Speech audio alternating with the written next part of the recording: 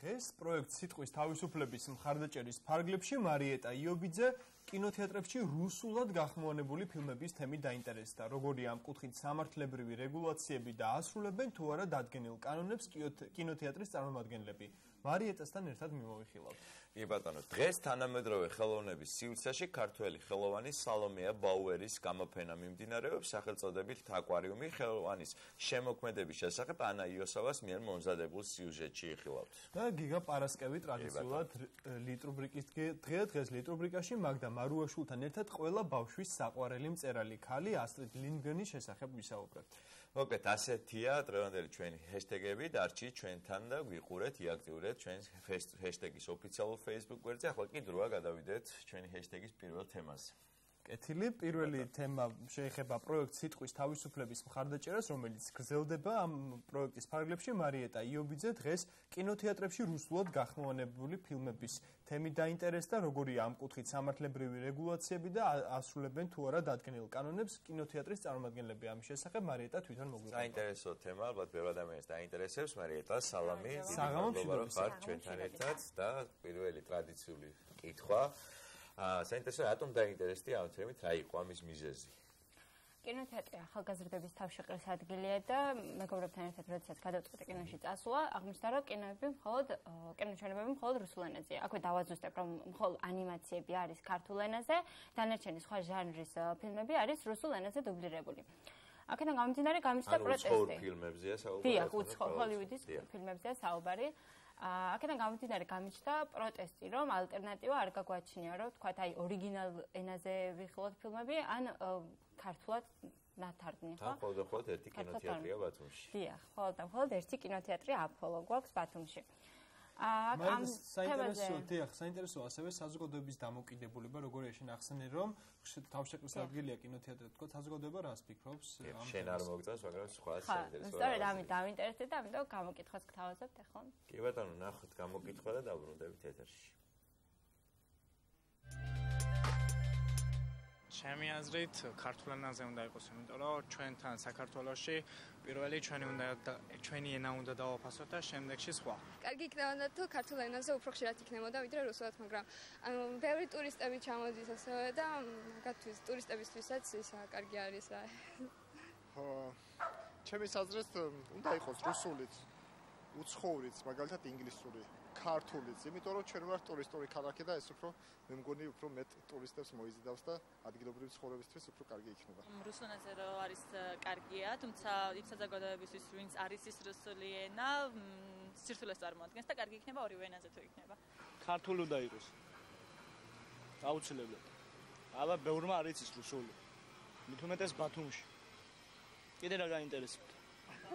ქართულ ენაზეც უნდა გადიოდეს, რადგან ეს თქვათ მე როგორც სტუდენტი და ახალგაზრდა მოქალაქე მაქვს სურვილი ხშირად წავიდე ესე თქვათ კინოთეატრში, მაგრამ ენის ესე თქვათ გამო ვერ მიდივარ, რადგან მე არ ვიცი რუსული. ახალგაზრდობა ისწავლის ალბათ რუსულს უფრო კარგად.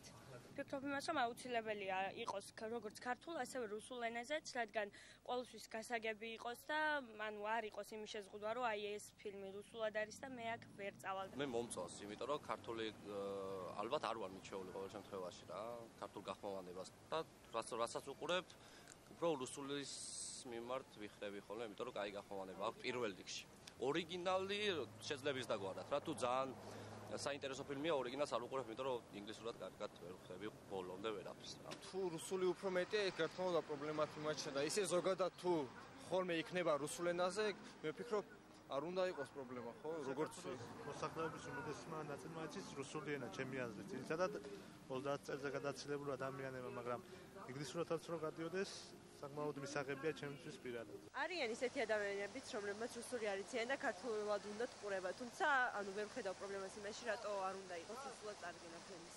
რა მე პირადად ვერ მივალ და ვერ ვერ ვუყურებ, იმიტომ რუსული ენა არ ვიცი.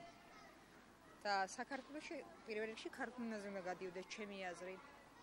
და მე რუსული ალბათ რუსული ტურისტებისთვის, ვინც რუს ტურისტი ან უკრაინელი ან რუსული ნოვანი ქვეყნებიდან ვინ შემოდის. პირველ რიგში ქართული ყოველ შემთხვევაში. პრეცესიო გამოკითხვა. როგორც გამოკითხაში ვიხლეთ, აზრი ორად იყოფა, ძირითადად ფიქრობენ, ანუ ერთი ნაწილი ფიქრობს, რომ რუსულად უნდა გადიოდეს, მეორე ნაწილი ფიქრობს, რომ ანუ ქართული მნიშვნელოვანია. აა ასევე იკვეთება ისედაც რომ რუსული უნდა იყოს, იქიდან გამომდინარე რომ ბათუმი არის ტურისტული ქალაქი და აუცილებელია ტურისტებსაც კონდეთ საშუალება რომ რუსულად იხილოს ფილმები. გასაგები. მოკლედ ნახეთ რომ ადამიანებს ზოგს უნდა რუსული გახმოვანება, ზოგს არ უნდა, მაგრამ რეალურად ალბათ ლოგიკურია ეს კითხვა, არსებობს თუ არა რაიმე რეგულაციები, რომ შეგვიძლია მოვითხოვოთ ქართულად, მხოლოდ და მხოლოდ ქართულად გახმოვანებული ფილმები ჩვენს კინოთეატრებში. ცხადია ერთია რა გვინდა და მეორე რა რას ფავზებს სახელმწიფო, ხო? რა თქმა უნდა, პირველ რიგში გადავამოწმე სამართლებრივად რამდენად იყო დაშვებული კინოთეატრების მიერ ესე რუსულად ფილმების ჩვენებები და 2011 წელს მიღებული კანონით ეროვნული კინემატოგრაფიის მხარდაჭერის შესახებ დაუშვებელია კინოთეატრებში ფილმების ჩვენება არა წარმოების ენაზე. უფრო ვრცლად ამაზე იურისტი ან მდინარეზე გვესაუბრება. კი ბატონო, ნახოთ. ეს საკითხი არის დარეგულირებული ეროვნული კინემატოგრაფიის სახელმწიფო მხარდაჭერის შესახებ საქართველოს კანონით. არა სახელმწიფო ენაზე, ამ შემთხვევაში გულისხმობა არა ქართულ ენაზე. ანუ ფილმის პირველადი წარმოების ენაზე, როცა ხდება ფილმის დემონსტრატორის მიერ ფილმის ჩვენება კინოდარბაზში, კანონის სავალდებულო მოთხოვნაა, რომ ეს უნდა განხორციელდეს სახელმწიფო ენაზე აუცილებელი სუბტიტრირებით ან ქართული გახმოვანებით.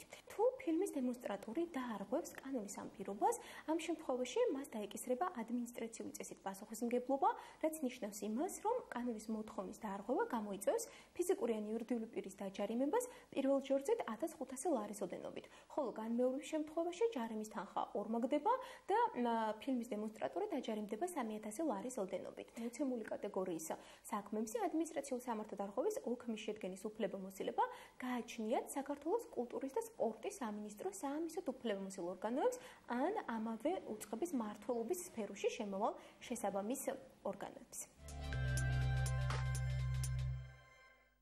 მოკლედ იურისტისგან მოусმინეთ პასუხი რომ ეს ყველაფერი კანონის ფარგლებში დაჯადიქმედება შესაბამისად როგორც ხედავთ არასრულებენ ამ რეგულაციას. და ძირითადად რატო არასრულებენ მარიეტა ესეც საინტერესოა და რა მაგალითები გვაქვს ჩვენ რეალობაში?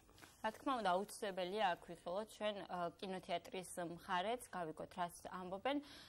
ერთი კვირის განმავლობაში ვცდილობდი რომ კინოთეატრ აპოლოს ადმინისტრაციას დავკავშირებოდი უფრო სწორად შევხვედროდი და პირადად დალოპერაკებოდი და გამეგო მისგან ანუ რა პრობლემები არის. ზოგადად ქართული ფილმ ქართულად დუბლირებულ ფილმებს რატომ არ აჩვენებენ რა პრობლემებია და გამოწერილა თუ არა სანქციები შესაბამისი უწყების მხრიდან მაგრამ ვერ მოახერხეთ თავი არიდეს თუ რა მოხდა ნუ ფაქტია რომ ერთი კვირის განმავლობაში ვერ დაუკავშირეთ ვერ დაუკავშირდით ვერანაირად. საინტერესოა ნახეთ რომ აპოლოსთან კომუნიკაცია ვერ შედგა და საინტერესო საინტერესო იქნებოდა მათი მხრიდან მოსმენა იმ პასუხების თუ ამდენად არის ამაზე სანქციები გამოწერილი, მაგრამ ვისაუბრეთ აპოლოზე, ვიცით რომ ბათუმში მომდა ხოლოდ ერთი კინოთეატრი, აი სხვა კინოთეატრებში რა ხდება საქართველოს მასშტაბით, როგორც ვიცით, არის სხვა სხვა ქალაქებში კინოთეატრები, აი ქრა სიტუაცია ალბათ დაინტერესდება ამ კუთხით, იმიტომ რომ მარტო ბათუმი ფილმი არ არის საქართველოს.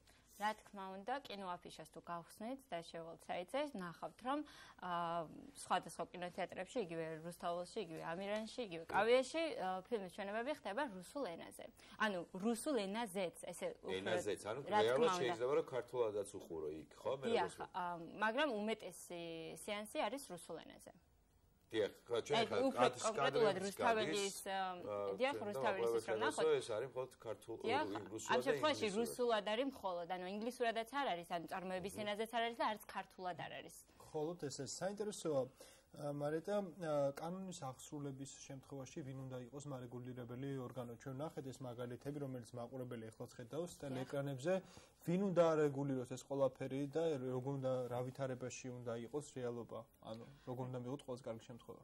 დიახ როგორც იურისტმა აღნიშნა მონიტორინგს უნდა ახორციელებდეს საქართველოს კულტურის სამინისტროს დაქვემდებარებაში მყოფი საზედამხედველო ორგანო მე შევეცადე დავკავშირებოდი საქართველოს კულტურის სამინისტროს, სადაც მითხრას, რომ კინოცენტრი არის პასუხისგებელი ორგანო, კინოცენტრში კინოცენტრსაც დაუკავშირდი და კინოცენტრმა თქვა, რომ არ არის ის პასუხისგებელი ორგანო, ზედამხედველობას.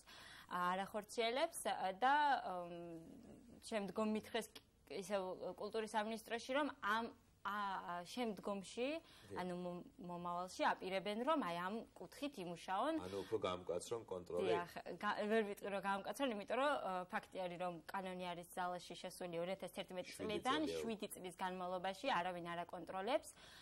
ზუსტად არც კი აქვთ პასუხი, რომელი ორგანო არის პასუხისგებელი, ხო?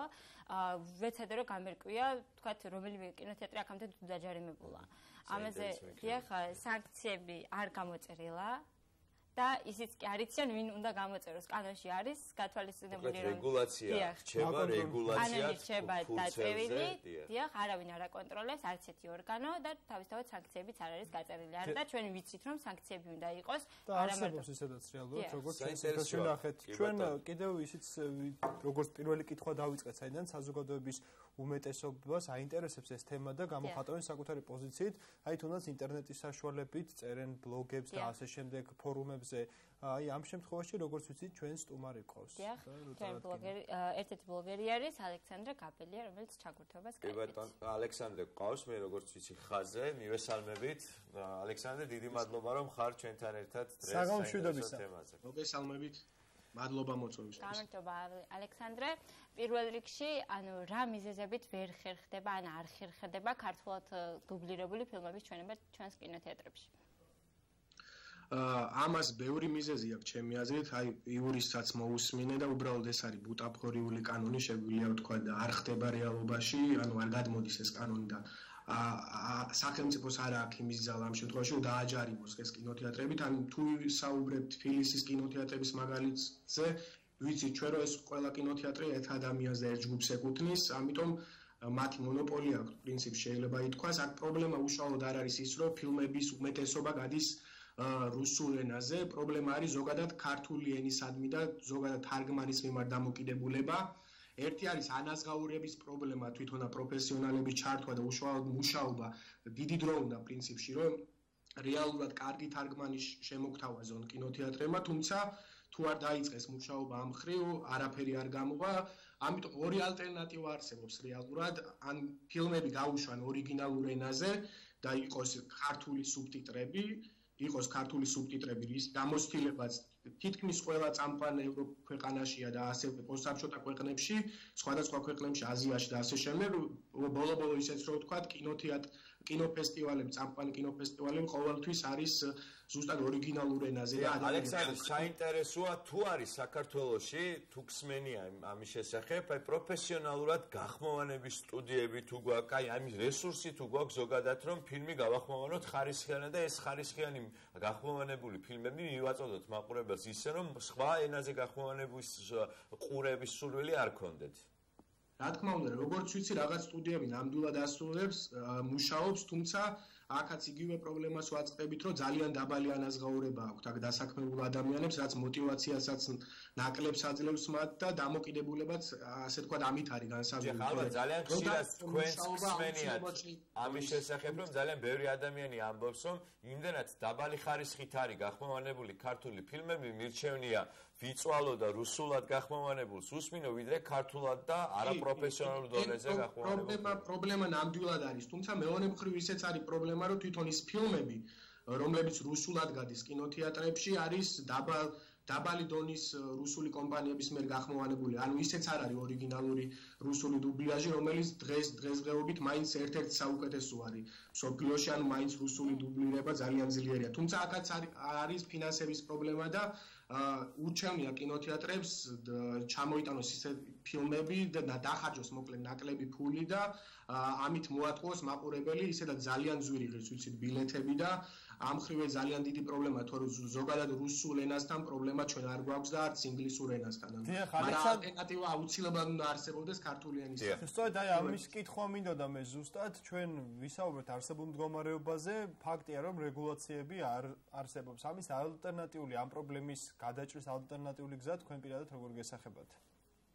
ალტერნატიული გადაჭრის გზა ძალიან რთული არის, ანუ ჩვენ ვერ შევცვლით ახლა კინოთეატრების პოლიტიკას, ეს არის კერძო ბიზნესი, პირდაპირ იძახიან, რომ კინო მათთვის არის ბიზნესი სამწუხაროდ თუმცა ჩვენ შეგვიძლია ამ შემთხვევაში კულტურის სამინისტროს და სახელმწიფოს მეტად მოუწოდოთ. იმისკენ რომ ქვეყანაში არა მარტო თბილისში, ქვეყანაში ზოგადად აღდგეს და ჩამოყალიბდეს მუნიციპალური კინოთეატრები, სადაც მაყურებელს არა მხოლოდ ამ ბლოკბასტერების ნახვის შესაძლებლობა მიეცემა, არამედ ზოგადად საავტორო კინო, ევროპული კინო, აზიური კინო და ასე შემდეგ და უფრო წინ წამო ასევე ასევე თარგმანის და ადამიანები დასაქმდებიან ამ და მიიღებენ გამოცდილებას და ნენელა ეტაპობრივად შეიძლება ამ ყველაფერზე ალექსანდრე ასევე საინტერესოა თუ ჩვენს გადაცემას თავიდან ადევნებთ თვალს ქონდა გამოკითხვა სადაც მოსახლეობის აზრი იყო ორად გაყოფილი ზოგს მოსწონს უსულად გახმოვანებული ზოგს ქართულად გახმოვანებული ურჩევნია და ამას მოითხოვს. საინტერესოა თუ მაგალითად გაჩნდა პროტესტი პროტესტი მოსახლეობაში და უარი უთხრეს კინოთეატრებს რუსულად გახმოვანებულ ფილმებზე აი რამდენად მოაგვარებს ხალხის პროტესტი ხალხის დამოკიდებულება რომ არიან რომ რუსულ გახმოვანებულ ფილმებზე იქნება თუ არა ეს შედეგის მიმღები კინოთეატრების მიმართ რომ მაგალითად მხოლოდ და მხოლოდ ქართულად გახმოვანებულ ფილმები იყოს წარმოდგენილი ალბათ იქნება ეს რა თქმა უნდა შედეგის მომცემი, თუმცა საკითხი არ მგონია რომ ესე უნდა დავაყენოთ რომ მხოლოდ ქართულად იყოს. იყოს თუ არის ადამიანები, ვისაც სურს რუსულად, იყოს მათთვის გამოყოფილი სიუცე. უბრალოდ დღეს პრობლემა ის არის რომ ყოველ დღე მაქსიმალური დატვირთვა მიდის რუსულ გახმოვანებულ ფილმებზე. ორიგინალში ძალიან იშვიათად არის და მალე ხსნიან, იმიტომ როგორც აღნიშნე, ძალიან დიდ ფულთან არის დაკავშირებული შედარებით ვიდრე ეს ფილმები. ამიტომ მაინც რა თქმა უნდა ეს პროტესტი მნიშვნელოვანია და უნდა წამოწიოთ ზოგადად ის თემა, რომ ქართული გახმოვანება და ზოგადად კინოთეატრის დამოკიდებულება, რომ ეს არ არის ბიზნესი, ეს უნდა იყოს შემოქმედებითი სივრცე და ეს ადამიანებს არ მხოლოდ გართობის, არამედ ზოგადად ცხოვრების სწავლის და რაღაცების წაკითხვის შესაძლებლობა მიეცეს, ამიტომ პროტესტი მნიშვნელოვანი არის. გასაგებია. ძალიან დიდი მადლობა ალექსანდრე. მადლობა თქვენ. დიახ. და მადლობა მადლობა რომ ჩაგვერდა. მარიეტას მინდა დაუსვა ბოლო კითხვა, სანამ დავეშვიდობებით. საინტერესოა მარიეტა, აპირებ თუ არა ამ თემაზე თვალის ყურის მინდევნებას, აი როგორც თქვი, შენ კულტურის სამინისტროს ესაუბრე და რაღაც პირობასავით მიიღე რომ იქნება დაინტერესება უფრო მეტად გამოფხიზდებიან და ასე შემდეგ. თუ აპირებ ამაზე თვალყურის მინდევნებას. რა თქმა უნდა, როდესაც კულტურის სამინისტროს პიერ სამსახურის მენეჯერს ვესაუბრე, ბოლო ბოლო ნაბიჯად მითხრა რომ აი წერილი რომ მოგწეროთ ალბათ შეიძლება რაიმე მონიციპები მოგაწოდოთ და ამიტომ გადავწყვიტე რომ წერილი ოფიციალური წერილიც გავაგზავნე ალბათ პასუხს 10 დღის განმავლობაში მივიღებ და რა თქმა უნდა თვალყურს ვადენებ ამ თემას იმიტომ რომ რადგან პროტესტის გრძნობა მიჩნდება მინდა რომ ბოლომდე მივიღო ამ თემის მიმართ კიდე ერთხელ იქნება ყურადღებით და შენ თუ რაიმეს მიაღწევ ამ საკითხთან დაკავშირებით აუცილებლად დაგითმობთ ეთერს და აუცილებლად ვისაუბროთ კიდე ერთხელ. მარიეტა იობიძე იყო ჩვენთან სტუმრად და საუბრობდა კინოთეატრების შესახებ მადლობა მარიეტა სიუჟეტი მომზადა პროექტ სიტყვის თავისუფლების მხარდაჭერის ფარგლებში.